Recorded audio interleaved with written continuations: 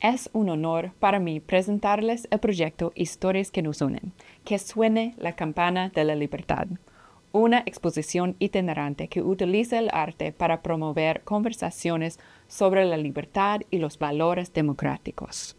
Yo soy Chelsea Hetrick, consejera para Asuntos Públicos de la Embajada de los Estados Unidos y estoy emocionada de contarles sobre esta iniciativa que ha sido posible gracias a la colaboración de la Fundación de Arte Arawak.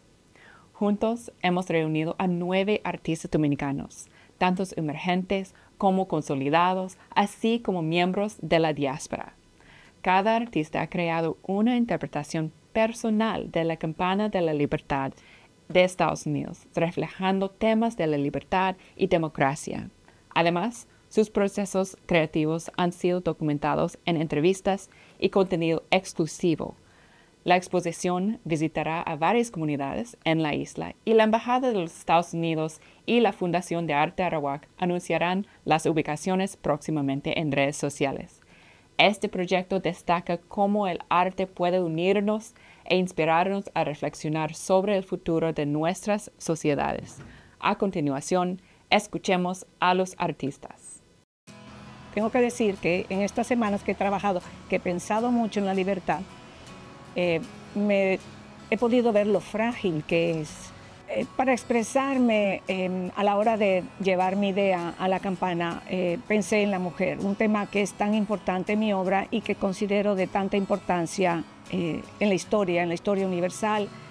La mujer, con su valor y su determinación, ha tenido que vencer obstáculos, obstáculos que durante muchos, muchos siglos la ataron. En todos los pueblos siempre hay heroínas, siempre mujeres que no dejan de hablar, de estar presentes para hacer que las libertades se mantengan y se respeten. Eh, me fui a los clásicos y la definición tal vez más clara que nosotros tenemos en la civilización occidental viene de, de la diosa griega Eleuteria, que es la diosa de la libertad y de la emancipación. Una versión mucho más eh, amigable, mucho más eh, alegre de lo, que, de lo que para nosotros en la humanidad ha costado conseguir la libertad. Y esta es la representación visual de esta diosa con los brazos erguidos, abriéndose a, nosotros los humanos eh, en un cielo azul bastante claro y unos colores bastante llamativos para que para recibir de buena manera eh, lo que para nosotros damos por sentado que es la libertad. Cuando se me propuso, me hace esta proposición, este, creo que inmediatamente en mi cabeza eh, me dije que sí. ¿Cómo representar la democracia y la libertad? Es algo muy particular, sobre todo en América Latina. Eh, para mí la mejor manera de, de evocar este tema fue a través, a través de los movimientos artísticos, a través de, cuando pienso en Estados Unidos, automáticamente pienso en multiculturas y multiracial.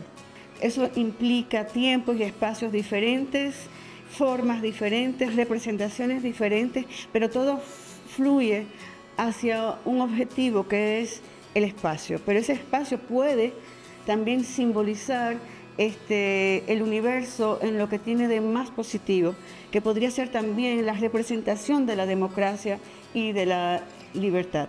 Usar un objeto tan icónico como la, famosa Liberty Bell, la campana de la libertad, para plasmar eh, imágenes en mi obra que tienen que ver con eh, la esclavitud, hablando de libertad. O sea, son las imágenes que ven, las siluetas que ven en mi, en mi campana, son esclavos que han sido eh, tirados en el viaje de ultramar.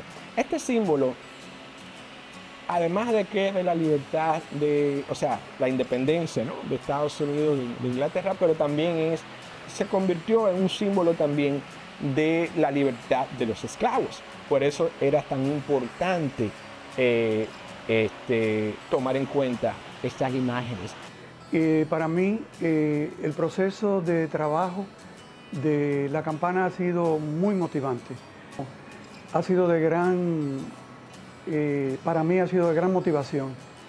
en mis investigaciones sobre democracia, libertad, he aprendido a, visualizar muchas cosas interesantes acerca de lo que esas dos cosas representan para eh, nuestros países. Eh, mi inspiración fundada en la naturaleza, fundada en el sol, en las aves, en los ecosistemas, en, fin, en la naturaleza. La campana para mí tiene un gran objetivo, poder comunicar eh, la libertad, la preservación del ambiente y de la vida, fundamentalmente. Todo lo que yo hago está siempre navegando entre la tragedia y la belleza. Y el reto es cómo nosotros volvemos esta campana única. Pero la libertad y la democracia están llenas, llenas, llenas de muchas capas. En mi trabajo siempre hay muchos elementos que tienen que cruzar agua, porque todo mi trabajo está inspirado en las consecuencias del cruce del Atlántico.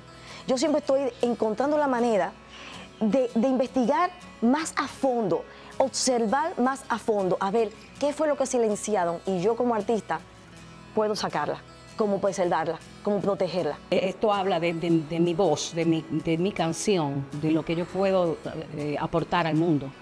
Eh, y, me puse a, pensar lo que era la libertad para mí, y, obviamente que está íntimamente ligada con lo que es la democracia.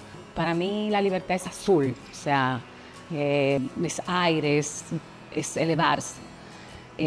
realmente, por eso le puse las alas. Y me puse a pensar eh, precisamente qué era la libertad para mí, cómo yo veía la libertad. Esa independencia habla, de que todos somos iguales y que todos tenemos los mismos derechos. Al mismo tiempo de ser todos iguales, todos somos diferentes, todos pensamos de manera diferente, todos eh, y tenemos derecho, o sea, cada quien tiene derecho a ser lo que es, que eso viene siendo para mí humildad. Es sumamente resistente al agua, al sol, al buen manejo.